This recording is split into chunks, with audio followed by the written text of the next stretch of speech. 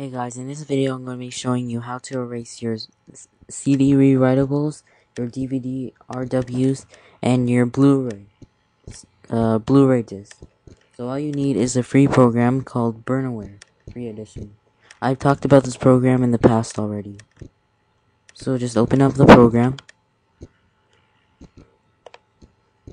And now there's three options on the side. If you want to erase a CD, just go all the way over to the tools, make sure it's on the CD, and hit erase CD rewritable. Choose your um, CD and CD burner or whatever. Your CD DVD drive. And then you can choose if it's a quick erase or a complete erase. And then just hit the erase button it's the exact same procedure with DVDs.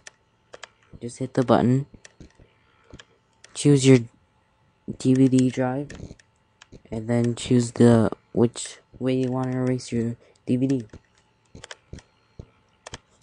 And the exact same for Blu-rays.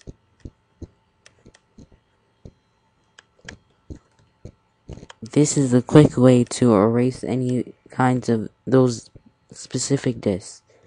So this is my video on how to erase CDs, DVDs, and Blu-ray discs. Thanks for watching. If you like this video, please comment, rate, and subscribe, and thanks again.